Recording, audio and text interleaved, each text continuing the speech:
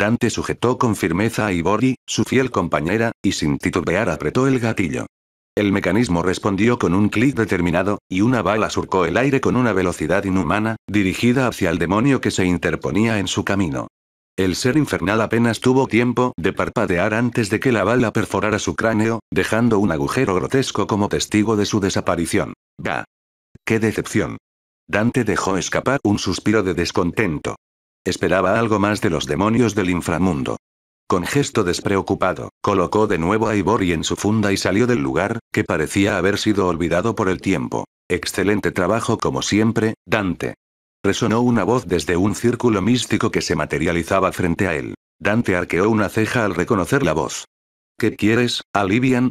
inquirió, girando su mirada hacia el mayordomo con una mezcla de curiosidad y precaución. El mayordomo, con su habitual serenidad, pareció esbozar una sonrisa. La señorita lo requiere, Dante. Parece que ha encontrado un encargo adecuado para usted. ¿Un encargo? Dante dejó escapar un gruñido de interés. Ya era hora. Me estaba aburriendo de exterminar a estos demonios renegados. Con pasos decididos, Dante se acercó a Alivian, ignorando la incomodidad palpable en la postura del joven mayordomo. Dante, podrías no acercarte tanto. Estás invadiendo mi espacio personal, murmuró Alivian, con una expresión que oscilaba entre la timidez y la incomodidad. Dante soltó una risita burlona. Vamos, don Juan, ¿de verdad estás pensando que te daré un beso o algo por el estilo? Por supuesto que no. Replicó Alivian rápidamente. Pero estás demasiado cerca para mi gusto. Dante se apartó con un gesto despreocupado. Relájate, no te haré daño. Además, no soy de ese tipo. Ahora sí, vamos, Ime, no quiero hacer esperar a la pequeña princesa, agregó Dante, con un guiño cómplice hacia Livian. El mayordomo suspiró con resignación y, en un parpadeo, ambos desaparecieron en un destello de luz que rodeaba el círculo mágico. Cuando llegaron a la majestuosa residencia Agares, Dante no perdió tiempo y se encaminó directamente hacia la cocina, con un antojo insaciable de una suculenta rebanada de pizza y una cerveza bien fría. Hacía ya un mes que había hecho de aquel lugar su hogar temporal, y se había convertido en toda una rutina tener siempre a mano una provisión de pizzas, cervezas y helados de fresa, sus placeres culposos favoritos. Al adentrarse en la mansión, los murmullos provenientes de la habitación de Segvaira llegaron a sus oídos. Dante no necesitaba más que aquel sonido para comprender lo que estaba ocurriendo, y una traviesa sonrisa se dibujó en su rostro. Sin dudarlo, golpeó la puerta con determinación hasta que cedió ante su fuerza, impactando tanto que la propia Seguaira estuvo a punto de caer de la silla en la que se encontraba, sorprendida por la entrada tan repentina de Dante. Dante, murmuró Seguaira, volteándose para mirarlo con sorpresa aún reflejada en sus ojos. Dante se acercó con una sonrisa pícara bailando en sus labios, deteniéndose frente al monitor. Hola, escuchadores frikis y otakus, comenzó, con un tono juguetón en su voz. Soy Dante, el galán y sorprendente. Quiero que sepan que la Ime aquí presente es mi chica, así que si piensan que tienen alguna oportunidad con ella, temo desilusionarlos. Porque ya me tiene a mí y no la dejaré, declaró con seguridad, dejando claro su territorio. Con un gesto seguro, Dante colocó a Segvaira a su lado, pero ella lo apartó con un leve empujón y volvió su atención hacia el monitor. Disculpen por eso, se disculpó Segvaira con una mirada exasperada hacia Dante. Es un tonto. Nos vemos la próxima semana, añadió antes de cortar abruptamente la transmisión. Dante se quedó mirándola con una expresión entre divertida y desafiante, mientras ella se dedicaba a recoger sus cosas con rapidez, evidenciando su deseo de terminar cuanto antes con aquella incómoda situación. ¿Qué crees que estás haciendo al decirle eso a mi público? Sabes que puede generar problemas en mi vida como Streamer, reprendió Seguaira, con una mirada de advertencia dirigida a Dante. Dante se levantó con un gesto despreocupado. Vamos, no es para tanto. Solo quería divertirme un poco, respondió, intentando quitarle importancia al asunto. ¿Acaso no sabes que hoy en día las polémicas dan mucha fama y generan visitas? Lo sé, admitió Segvaira con un tono de resignación. Pero yo no quiero ser una creadora de contenido de polémicas. Dante suspiró ante las palabras de ella, con una mezcla de exasperación y desilusión.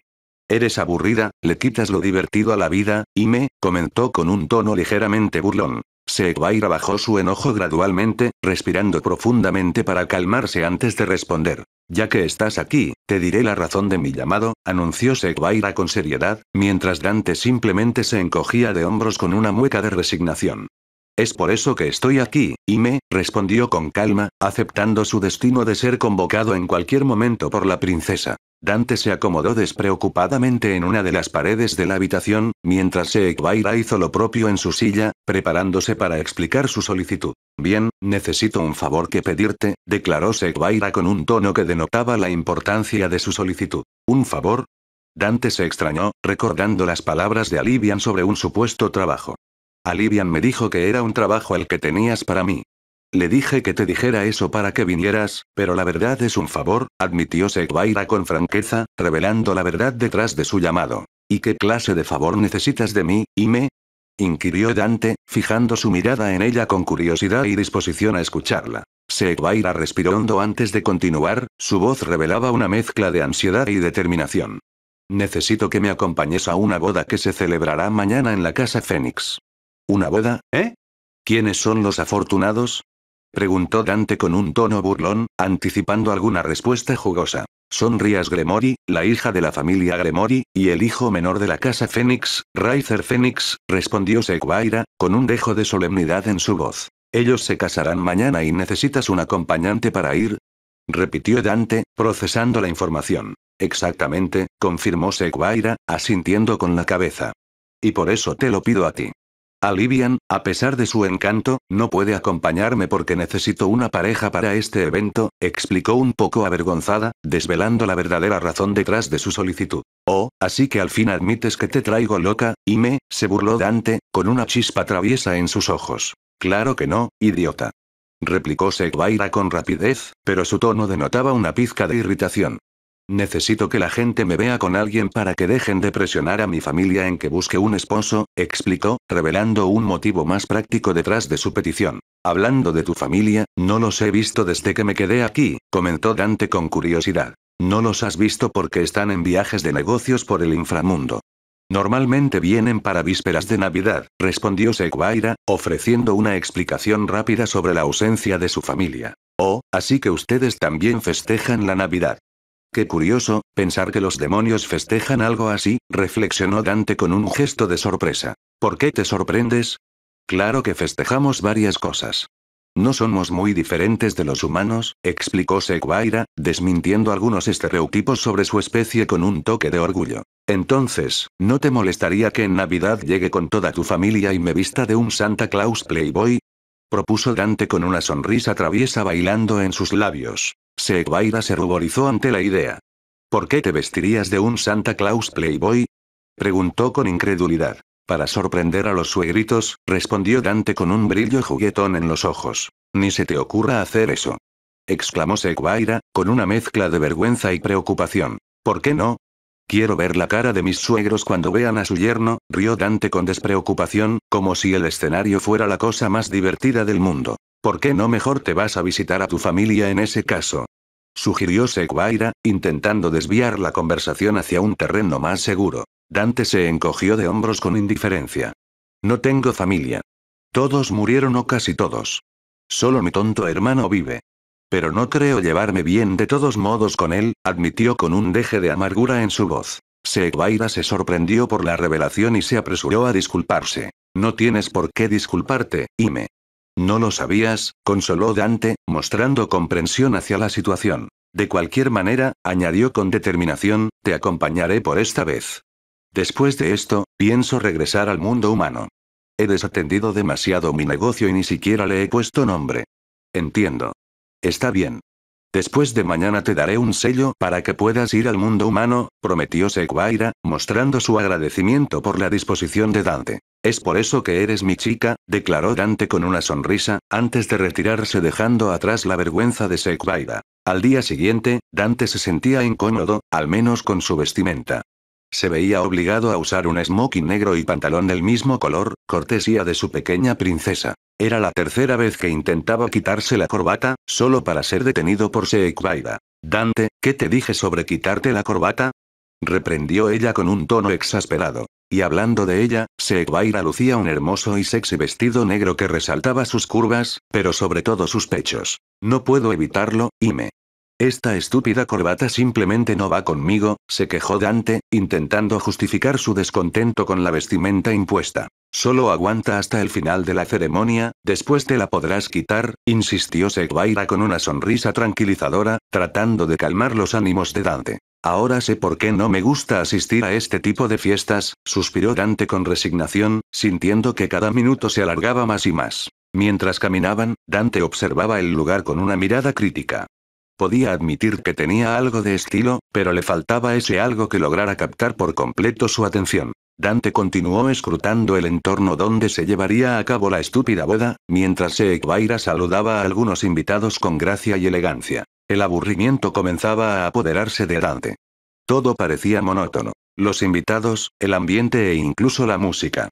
No podía evitar preguntarse por qué no habían optado por poner algo de rock o metal para romper con la solemnidad y convertir la boda en algo más animado. No me dijiste que esto fuera tan aburrido, murmuró Dante, dirigiendo una mirada decepcionada hacia Seguaira, quien parecía no darse cuenta del tedio que él experimentaba. Seguaira miró a Dante con desaprobación antes de responder con firmeza. Así es una boda, ¿qué esperabas? Vamos a saludar a las demás personas. Ve tú. Estoy tan aburrido que si no bebo un trago de bebida, me quedaré dormido, se quejó Dante, con un gesto de fastidio evidente en su rostro. Seguaira suspiró resignada. Está bien, solo no vayas a hacer un desastre. La ceremonia está por comenzar, advirtió con tono serio, anticipando alguna travesura por parte de Dante. Dante sonrió con picardía. No prometo nada, me, dijo en tono juguetón antes de darse la vuelta y marcharse, dejando a Segvaira con un sentimiento de preocupación por lo que pudiera suceder. Dante caminó con determinación hasta llegar a la barra, donde el aroma embriagador de las bebidas le dio la bienvenida. Dame el mejor vino que tengas, amigo, ordenó al barman con confianza, desafiante ante cualquier intento de cuestionamiento. El hombre lo miró con una ceja alzada. ¿Tienes edad para beber? Preguntó con escepticismo. Amigo, soy un maldito adolescente que fue arrastrado en contra de su voluntad a esta boda. No preguntes y sírveme, respondió Dante con un tono desenfadado, dejando claro que no estaba para juegos. El barman asintió, reconociendo la lógica en las palabras del joven.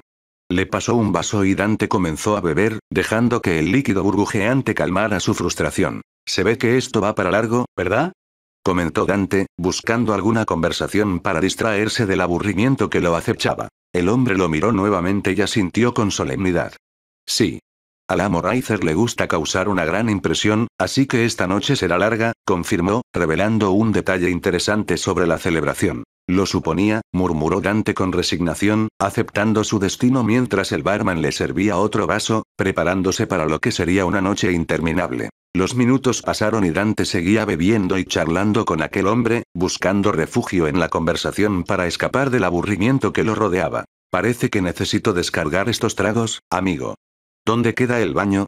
Preguntó Dante, notando que la bebida comenzaba a hacer estragos en su vejiga. Al fondo a la derecha, después de pasar por la puerta principal, indicó el barman con amabilidad, señalando la dirección con un gesto de su mano. Ok. Amigo, gracias, respondió Dante con gratitud antes de encaminarse hacia el baño, decidido a aliviar su necesidad mientras dejaba atrás temporalmente la monotonía de la fiesta. Solté un gran litro ahí. Bueno, a seguir bebiendo mientras acaba esta estupidez, murmuró Dante para sí mismo con un suspiro de alivio, satisfecho por haber aliviado su vejiga. Dante caminaba de regreso cuando escuchó gritos y explosiones provenientes de la entrada principal del castillo. Con curiosidad, se detuvo para observar, solo para ver a un chiquillo castaño corriendo hacia su dirección, mientras los guardias del lugar lo perseguían. Oh, así que alguien se coló, comentó Dante para sí mismo, con una sonrisa traviesa en los labios, mientras seguía observando al chico que se aproximaba rápidamente hacia él. Apártate, estúpido. Gritó el chico hacia Dante, tratando de empujarlo para abrirse paso. Sin embargo, Dante simplemente se movió ligeramente hacia un lado, agarrándolo del brazo y haciéndolo caer al suelo con un rápido movimiento. ¿Qué pasó con eso de estúpido, niño? ¿Acaso tus padres no te educaron? Preguntó Dante con un toque de sarcasmo, observando al chico con una ceja levantada mientras se levantaba del suelo. ¿Qué pasó con eso de estúpido, niño? ¿Acaso tus padres no te educaron? Preguntó Dante con un toque de sarcasmo, observando al chico con una ceja levantada mientras se levantaba del suelo. No tengo tiempo que perder contigo, tengo que detener esa boda, declaró el chico con determinación, mientras una luz brillaba en su brazo y se transformaba en un guantelete de color rojo, con el que se liberaba del agarre de Dante. Oh, así que tienes un artefacto extraño para luchar, comentó Dante con interés, observando con curiosidad el guantelete del chico. Justo en ese momento, los guardias llegaron rodeando al chico. Por favor, joven, déjenos a este intruso a nosotros y vuelva a la fiesta, solicitó uno de los guardias, tratando de recuperar el control de la situación. Los ayudaré con el intruso. Será mi buena acción del día.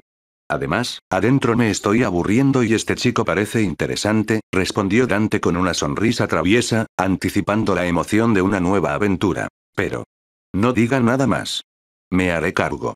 Solo observen, ordenó Dante con determinación, preparándose para enfrentar lo que sea que venga, con una mezcla de valentía y diversión en su mirada. Apártate, niño bonito, o si no te romperé la cara, amenazó el chico castaño con determinación. Jajaja, ja, ja, un virgen como tú me va a romper la cara. Si me dieran un dólar cada vez que escucho eso, ahora sería millonario, se burló Dante, con una sonrisa desafiante en los labios, desafiando al chico con sus palabras. Maldito, gritó el chico, dejando de lado cualquier intento de racionalidad mientras se lanzaba contra Dante con ferocidad. Sin embargo, Dante lo esquivó con agilidad y le propinó una patada que lo hizo retroceder unos pasos. Supongo que me harás divertirme un poco, intruso. O debería decir, virgen, comentó Dante con sarcasmo, preparándose para el enfrentamiento que se avecinaba. Dante extendió su mano y en unos segundos apareció su espada, la rebelión, deslumbrando al chico con su brillo imponente. El chico miró la espada con sorpresa, pero decidió atacar una vez más, demostrando su determinación y valentía ante el desafío que tenía delante. Dante esquivaba cada uno de los ataques del chico con una agilidad impresionante, moviéndose con gracia y rapidez para evitar cualquier golpe. Vamos, ¿es eso todo lo que un virgen como tú puede hacer? Provocó Dante con una sonrisa burlona, desafiando al chico con sus palabras. Cállate, maldito, gritó el castaño con furia, su rostro enrojecido por la rabia que ardía en su interior. Dante no perdió tiempo y golpeó al chico con el mango de la rebelión en la cara, seguido de una patada que lo lanzó hacia el techo con fuerza. El castaño se recuperó rápidamente, pero su sorpresa fue evidente al ver la sangre brotar de una herida en su rostro. No sé quién demonios seas, pero no me vencerás. Tengo que detener una boda, declaró el chico con determinación, mostrando su firmeza a pesar de las adversidades. El brazo del castaño comenzó a emitir un color carmesí, como si se preparara para lanzar un ataque poderoso contra Dante, desafiando al destino que se cernía sobre él. Los guardias miraban la escena con ojos desorbitados, temerosos del caos que se estaba desatando, pero para Dante, todo era solo una diversión más en su vida llena de aventuras. Dragon Shout. Exclamó el castaño, desatando una onda de energía directamente hacia Dante. Normalmente no me importaría si este lugar es destruido, pero si la IME se entera, no me dará mi pizza ni helado de fresa. Así que lo siento, Virgen, pero tú me hiciste usar la fuerza, murmuró Dante, preparándose para contraatacar. Silver, dijo Dante mientras chasqueaba los dedos, deteniendo el tiempo en su lugar. Con una precisión milimétrica, Dante miró la energía congelada en el aire, suspendida cerca de su nariz. Con un golpe rápido y preciso de la rebelión, la energía se desvaneció en el aire, como si nunca hubiera existido. Dante saltó justo en el momento en que el tiempo volvía a su curso normal. El castaño no entendía qué estaba pasando, pero antes de que pudiera articular una palabra más, Dante se interpuso frente a él con una determinación inquebrantable. Perdiste, virgen demonio, anunció Dante con una calma gélida en su voz, y en un destello de velocidad impresionante, cortó al castaño por la mitad con un movimiento preciso de su espada. Dante aterrizó con gracia en el suelo, mientras limpiaba la sangre de su espada con movimientos fluidos y seguros. Los guardias, atónitos y algo aterrados por lo que acababan de presenciar, observaron en silencio mientras Dante se marchaba, dejando el desastre a su paso. No tienen que agradecerme. He acabado con el intruso, declaró Dante con indiferencia, antes de desaparecer en las sombras, dejando tras de sí el eco de su hazaña. Unos segundos después, uno de los guardias volvió en sí, sacudido por la impresión del enfrentamiento que acababan de presenciar. ¿Qué estamos haciendo? Limpiemos este desastre antes de que el señor Reiser o los invitados vean esto, instó con urgencia, instando a sus compañeros a reaccionar ante la situación. Los demás guardias asintieron en acuerdo, comprendiendo la importancia de actuar rápidamente para evitar el caos en la celebración. Mientras tanto, Dante regresaba a la aburrida fiesta, desapareciendo la rebelión con un gesto rápido y fluido, y volviendo a la barra para continuar disfrutando de sus tragos. ¿Volviste, chico? saludó el hombre de la barra con una sonrisa amigable. Claro. Solo fui a liberar toda la bebida que estaba en mi cuerpo. Sírveme otro más, respondió Dante con una sonrisa pícara, mostrando su disposición para seguir disfrutando de la noche. El hombre no dijo nada más y procedió a servirle otro trago, reconociendo la actitud despreocupada pero entretenida de Dante. Solo pasaron unos minutos más hasta que la voz de Seguaira lo llamó. Dante. ¿Dónde demonios estabas? Se supone que solo ibas a tomar un trago, no toda la barra, reprendió, su tono mezcla de exasperación y preocupación. Calma, Ime. Esto es lo más divertido que haré en toda la noche. Además, estamos en una fiesta. ¿Por qué no disfrutarlo? Respondió Dante con una sonrisa traviesa, tratando de disipar la tensión. No es solo una fiesta, es la unión de dos clanes importantes, insistió Seguaira, destacando la importancia del evento. Ya lo sé, Ime. Pero en lugar de regañarme, ¿por qué no vienes y te sientas a beber un poco conmigo? Sugirió Dante, intentando convencer a su amiga de unirse a la diversión. No lo haré. Ni siquiera tengo edad para beber aún, replicó Seguaira con firmeza. ¿En serio? Pensaba que ustedes, los demonios, se regían de manera diferente. Pero ni modo, más para mí, comentó Dante con una sonrisa socarrona, antes de volver a sumergirse en la fiesta, decidido a seguir disfrutando de la noche a su manera. Deja de beber y vayamos al centro, la novia está por aparecer, instó Seguaira, interrumpiendo la diversión de Dante con una nota de urgencia en su voz. Justo cuando pronunció esas palabras, todas las luces se apagaron de golpe, sumiendo la sala en una oscuridad repentina. De repente, un círculo llameante se materializó en el centro de la habitación, atrayendo la atención de todos los presentes. De entre las llamas emergió una figura imponente. Un hombre de cabello rubio, elegantemente vestido con un traje blanco que irradiaba una presencia magnética. Muy buenas noches a todos, por asistir a esta bella velada, en donde presenciarán la unión de dos grandes clanes de la historia de los demonios, anunció con solemnidad el hombre, revelándose como Raizer Fénix, el anfitrión de la ceremonia. En ese momento, otro círculo mágico se materializó en el aire, esta vez de un intenso color rojo.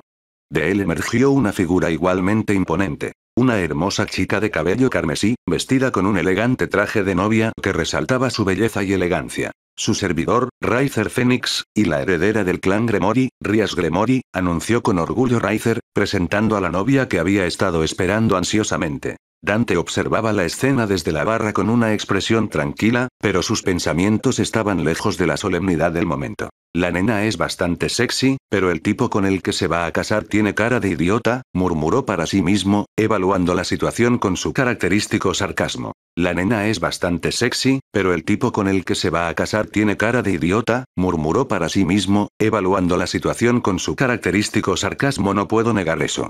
Raizer Phoenix siempre ha sido conocido como uno de los demonios más orgullosos y detestables de la nobleza, reconoció Seguaira, compartiendo la perspectiva de Dante. No me sorprendería que la gran mayoría de aquí lo deteste, añadió Seguaira, asintiendo en acuerdo con la observación de su amigo. Oh, entonces, si el chico pollo está odiado, ¿por qué celebran esta estúpida boda en primer lugar?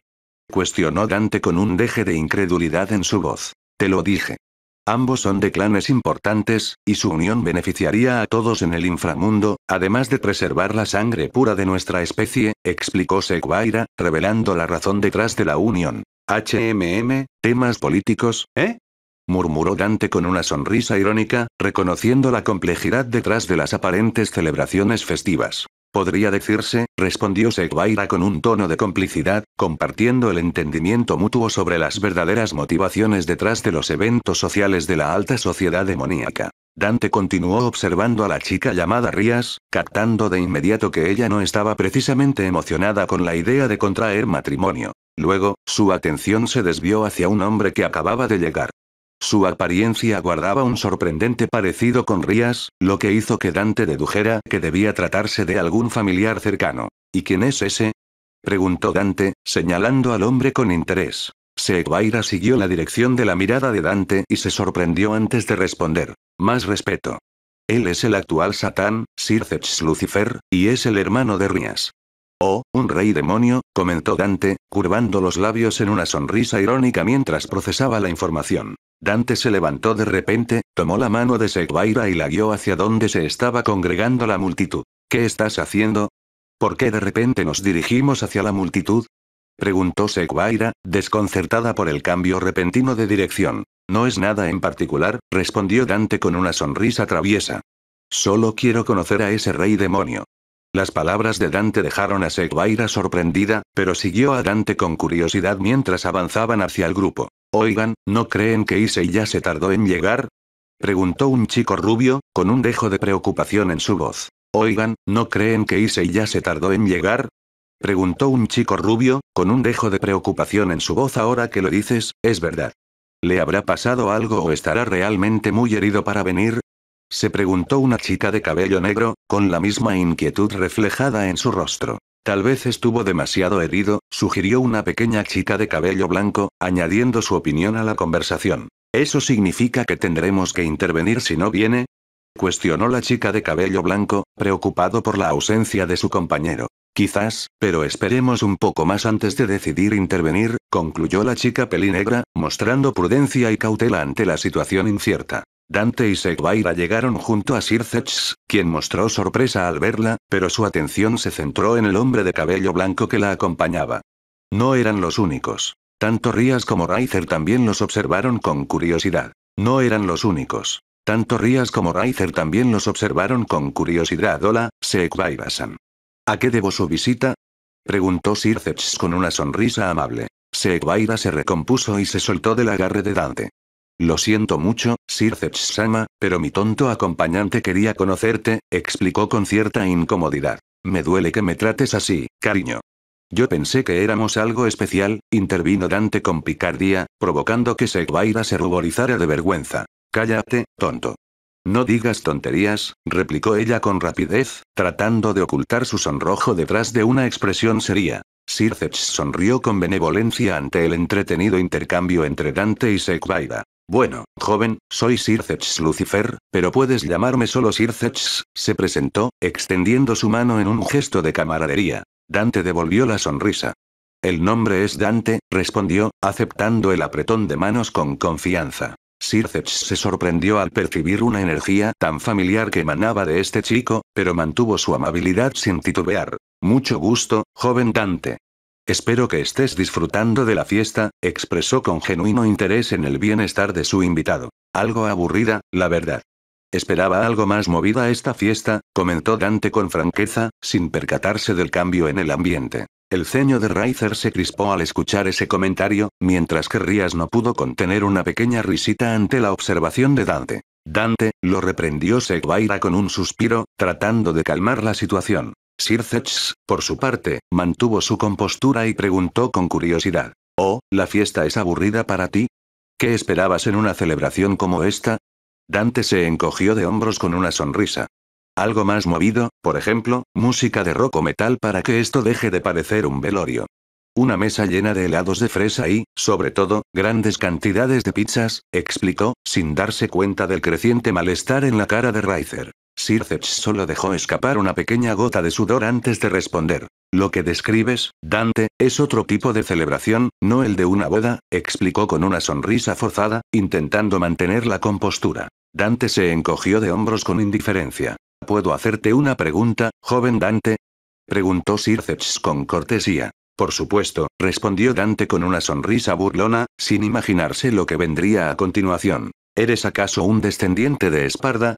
inquirió Sir dejando a todos los presentes sorprendidos por la pregunta inesperada. Las miradas de todos se centraron en Dante al escuchar la pregunta de Sir Seguaira, en particular, observaba con detenimiento a Dante, sorprendida e incrédula ante la posibilidad de que fuera descendiente de Esparda. Dante cambió su actitud burlona y despreocupada por una más seria de repente. Materializó a rebelión y la apuntó hacia Sircex. ¿Y qué si lo soy? ¿Tienes algún problema con que sea hijo de ese bastardo? Cuestionó con determinación, su voz resonando en el silencio que siguió a sus palabras. La revelación dejó a todos los presentes impactados. El joven de cabello plateado había revelado que era hijo del legendario caballero oscuro, Esparda. Los murmullos comenzaron a propagarse. ¿Es el hijo de Esparda Sama? ¿Esparda Sama tuvo hijos? Estas eran las preguntas que resonaban en el lugar, mientras todos trataban de asimilar la sorprendente revelación. Seguaira estaba visiblemente impactada por la revelación. Dante, ¿cómo? ¿Por qué no me dijiste que eras hijo de Esparda Sama? Preguntó, con una mezcla de sorpresa y confusión en su voz. Dante la miró con seriedad. No me gusta hablar de mi viejo, y me Digamos que no tengo una buena imagen de él, respondió con franqueza, dejando entrever el peso de su relación con su padre. Sekbaira no podía entender completamente las razones detrás de las palabras de Dante, hasta que recordó lo que él había mencionado anteriormente. No tengo familia, toda murió casi, solo mi tonto hermano vive. Pero no creo llevarme bien de todos modos con él, resonaron las palabras de Dante en su mente. Dante, tú, intentó decir, pero fue interrumpida por la voz de Circex. Por favor, joven Dante, baja el arma. Solo te pregunté si eras hijo de Espardasama, intervino Circex, tratando de calmar la situación. Lo siento, amigo, pero no puedo evitar mi curiosidad. ¿Cómo es que conocen a mi viejo? Eso es porque fue mi maestro, al igual que el maestro de mi padre, explicó Circex, con una expresión reflexiva. Todos en el inframundo lo conocen, ya que fue una figura sobresaliente entre nosotros, los demonios. Fue uno de los progenitores, al igual que muchos otros que iniciaron el linaje de los demonios. Las hazañas de Esparda se extienden desde cómo derrotó al ser llamado Mundus, hasta proteger a la humanidad y, sobre todo, detener la guerra de las tres facciones, continuó. Es por eso que es bastante respetado y venerado. Dante asintió, procesando la información. Oh, así que el viejo hizo todo eso, murmuró mientras bajaba a rebelión, dejando entrever un atisbo de respeto en su tono. Gracias, joven Dante, respondió Circeps con gratitud, pero pronto se sorprendió al ver a Dante levantar de nuevo a rebelión. Dices que fuiste estudiante de mi viejo. Entonces, ¿por qué no lo probamos? Quiero ver el poder de un rey demonio que fue entrenado por mi padre, propuso Dante desafiante. Circeps cambió su actitud relajada por una sonrisa desafiante. El hijo de mi maestro quiere ver mi fuerza, comentó con complicidad. Bueno, aceptaré, pero solo si logras derrotar a Riser, señaló con una sonrisa, desafiando a Dante a un enfrentamiento con su cuñado. Dante arqueó una ceja con suspicacia. ¿Por qué debería pelear contra el pollo asado? Preguntó con su característico sarcasmo. El insulto hizo que Riser se enfadara instantáneamente. Bastardo. exclamó con ira. Sirceps sonrió con astucia. Porque todos los presentes conocen mi fuerza. Soy un rey demonio, explicó con confianza. Y a diferencia de mí, no conozco tus habilidades. Si nos enfrentáramos y llegara a matarte por error, continuó Sirceps con seriedad, toda la comunidad demoníaca se me vendría encima por matar al hijo de una leyenda. Es por eso que si logras vencer a Riser, me demostrarás que tienes la fuerza más que suficiente para enfrentarme, concluyó. Y hagamos algo mejor. Si logras vencerlo, te proporcionaré helados de fresa y pizzas por todo un mes. Hermano, ¿qué estás diciendo? Estás consciente de lo que podría pasar, intervino Rías con preocupación. Pero Rías, también te conviene, insistió Circex. Pero. Titubeó Rías, sin terminar su frase. No estás en contra de mi decisión, ¿verdad, Riser? Cuestionó Circex. Claro que no. Voy a enseñarle a este bastardo qué significa ser el heredero del Fénix, afirmó Riser con determinación. Dante contempló la situación con una sonrisa enigmática, como si estuviera disfrutando del momento. Parece que sabes cómo negociar, amigo. Tienes un trato, reconoció Dante, extendiendo su mano en señal de acuerdo. Me encargaré de patearle el trasero al pollo asado y después seguirás tú, aseguró Dante con confianza. Entonces tenemos un trato, respondió Circex, estrechando la mano de Dante y sellando el acuerdo. Segvaira y Rías observaban la escena con cierto grado de incredulidad ante lo que acababa de suceder.